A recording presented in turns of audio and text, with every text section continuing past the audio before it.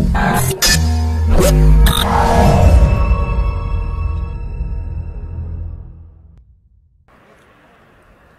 قنطرة وادي الشرط ببوزنيقة كانت شاهدة على وفاة القيادي الاتحادي أحمد الزيدي. وها هي اليوم وبعد مرور حوالي 30 يوما تشهد على وفاة قيادي بارز بحزب العدالة والتنمية عبد الله بها الذي وافته المنية مساء الأحد حوالي الساعة السادسة مساء هنا حيث باغته قطار قادم من الدار البيضاء في اتجاه مدينة القنيطرة ليرده قتيلا على الفور ويحول جثته إلى شظايا متناثرة على طول السكة الحديدية. روايات عديدة ومتعددة حول هذه الوفاة المفاجئة والأليمة. يرويها لنا الزميل الصحفي حسن الغوتي الذي كان حاضرا عقب الحادث ومنه هذه التفاصيل. حسب تصريحات آه، من مصادر متعددة.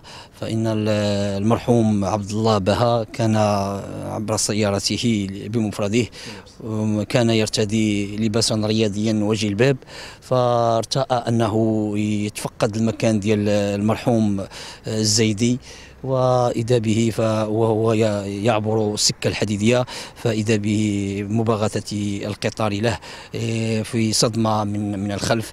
بعد ما أعطى المنبه الصوتي للقطار فإذا به إيه، على بغتة حاول الرجوع لكن القطار صدمه. وحوله إلى قطع إلى أشلاء إلى قطع من اللحم متناثرة هنا وهناك. والحديث أردنا أن نستقي بعض التصريحات إلا أنه على ما لمحنا وعلى ما لمسنا أنه تعتيم قوي قوي جدا من السلطات لا رجال الدرك لأنهم كانوا هم الحاضرين أول ما حضروا هم رجال الدرك الملكي إلى أنه وهذه هذه حقهم أنهم ما بغوش يصرحوا بشي حاجة لأنهم هناك ربما تعليمات أنه عدم التصريح حتى الصباح. هذا وعلمت شوف تيفي من عين المكان أنه تم نقل أشلاء جثة الراحل عبد الله بها إلى مستودع الأموات باب الحد بالرباط بعدما كانت سيارة الإسعاف في طريقها إلى المستشفى المحلي بوزنيقة تحت تعليمات من جهة رفيعة المستوى. وعلى خلفية هذا الحادث الأليم أمرت وزارة الداخلية مصالح الدرك الملكية بفتح تحقيق فوري وعاجل للكشف عن ملابسات الحادث تحت إشراف النيابة العامة. إن لله وإنا إليه راجعون.